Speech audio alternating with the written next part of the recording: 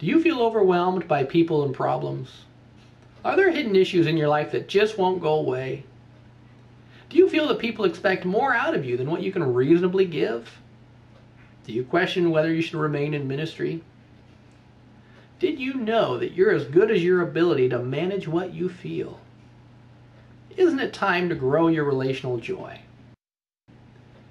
My name is Chris Coursey, and for 15 years I've been equipping pastors to be joy starters in their communities.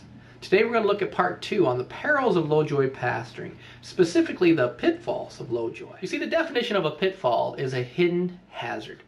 I remember a time that I encountered a hidden hazard when I wanted to dispose of some papers.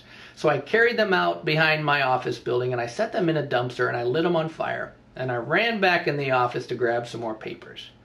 By the time I came out just a few minutes later, the entire dumpster was engulfed in flames. Uh, I panicked because there were woods all around this dumpster, and not too far from this dumpster were stored cans of gasoline. Needless to say, I wanted to put this fire out as soon as possible. I tried to find a, a hose or a water spigot. There was not a single hose outside of this building, but I found a bucket. So I carried this bucket inside the office, I filled it with water, and I ran back outside to pour it on the fire. For two hours I did this. I was completely exhausted by the time the fire was out. No one told me there were hidden cans of uh, stored paint and paint thinner and flammable liquids. Even dry wood was in this dumpster. I almost burned the town down. Thankfully, I didn't. Next time I'm going to use a paper shredder. But you see, I needed water for this blaze, and you need relational joy for some of the fires in your life. You see, you can grow joy, and you can even help the people around you grow joy. The problem is, many pastors I've met do not recognize the sign that their joy levels are low. In fact, many mistake low joy levels as uh, spiritual temptations or flaws, so they fight harder and harder with the temptations, but they never grow their relational joy. And this creates a hidden hazard or a pitfall in their life and their ministry. I remember Pastor Gary, a friend of mine, whose joy levels were dropping. He was exhausted, he was burned out, he wanted to quit the ministry. His family was tired of him working all the time and coming home uh, with nothing to offer.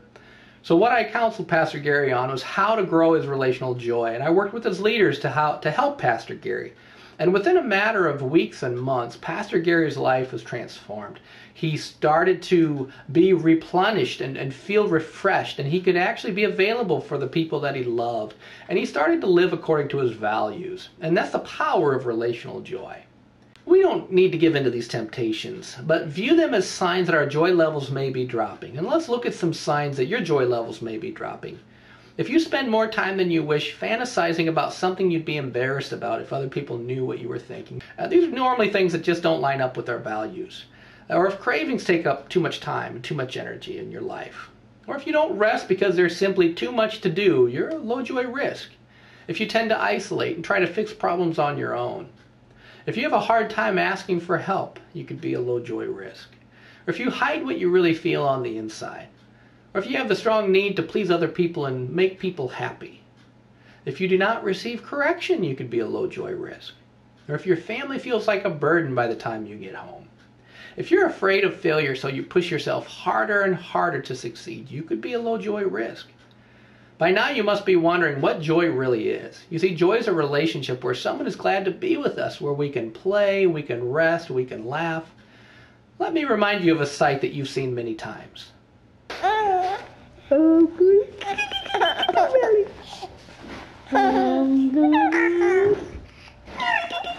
Belly.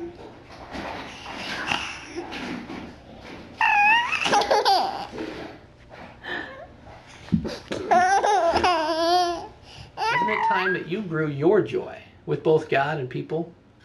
Join me next time on part three for the prevention of low joy. And if you want to become a joy starting pastor, email me and let's talk.